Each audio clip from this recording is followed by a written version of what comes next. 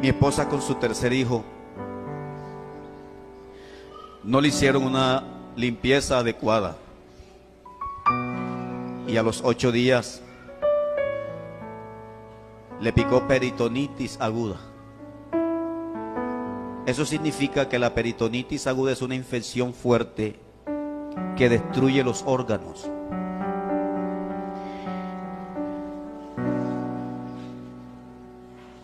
Un médico entra y otro sale. Dos entra. Y luego hay un certamen. Y me dicen, no podemos hacer nada por tu esposa. Me ingresan a una pieza y me dicen, tiene que ser fuerte. Tu esposa murió.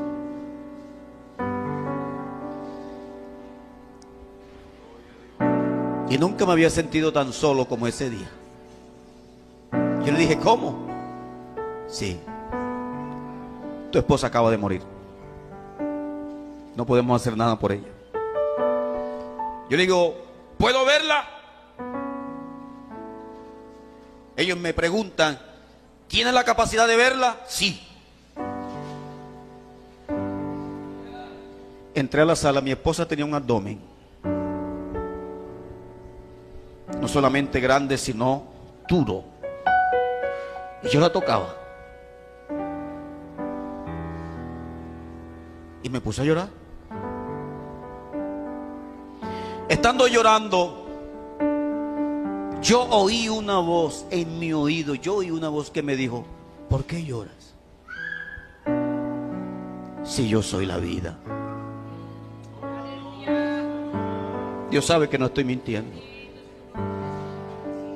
Y le dije, médico, ¿puedo orar? Y me dijo, aunque reces, ya no se puede hacer nada. Me dejaron solo en esa habitación. Y empecé a cantar un coro. La gloria es para ti. Todo el reconocimiento es para ti.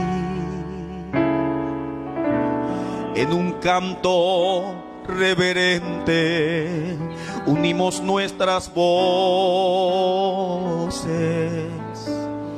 para adorarte. Lo canté como tres veces. Entró el médico y me dijo, baja la voz. Ya está muerta. Y le dije, hermana Nicole, Jesucristo es la vida. Y no pasa nada, aparentemente. Y le repetí otra vez, hermana Nicole, Jesucristo es la vida. Y hay una voz detrás de mí que me dice, dale la orden que regrese a la vida. Hermana Nicole, en el nombre de Jesús te ordeno que regreses a la vida. Y abrió los ojos. ¿Para qué me llamas? Te necesito conmigo todavía en el ministerio. Pero algo extraordinario pasa en la sala.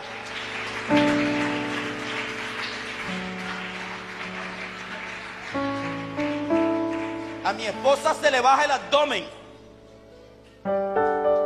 y expulsa todo lo que tenía dentro. Un médico entra y dice, ¿cómo es posible esto? No sé cómo es posible. Solo sé que sirvo a un Dios que le he dado mi vida,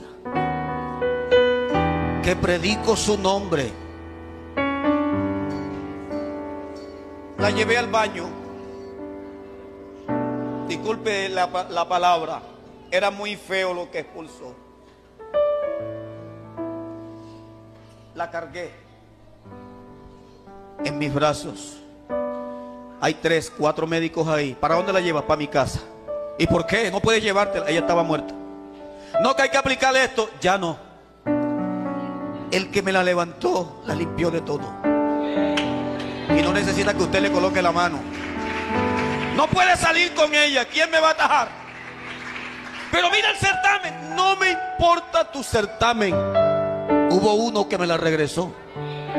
Tú me decías ahorita que no valía rezo ni oración. El rezo, la oración, como ustedes llaman, me la devolvió.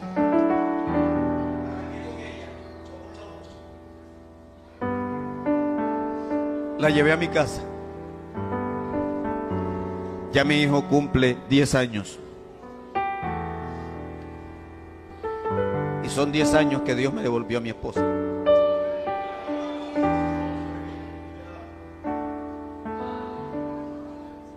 Cuando era un niño, soñaba que Dios resucitaba muerto.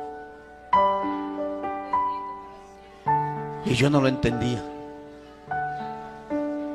Cuando era un niño, soñaba que predicaba multitudes. Cuando era un niño, soñaba que le predicaba a gente con vestidos blancos pero con manchas. Y soñaba que mientras predicaba la palabra las manchas desaparecían. Cuando era un niño soñaba que predicaba multitudes y muchos venían arrepentidos. Pero muchas veces quisieron matar eso. Pero Dios siempre tiene a alguien que te lo coloca al lado. Y cuando tú tienes esos pensamientos negativos, entonces hay alguien que te dice, tranquilo. Tú tenías que vivir eso. Tranquilo. No dejes de creer. Y ese alguien que Dios coloca son esos que están puestos para ayudar en tu formación.